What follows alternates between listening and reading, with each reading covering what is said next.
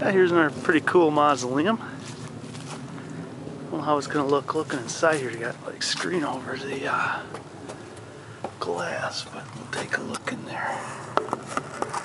Oh, kind of neat. You can see a little bit, not a lot. Get a better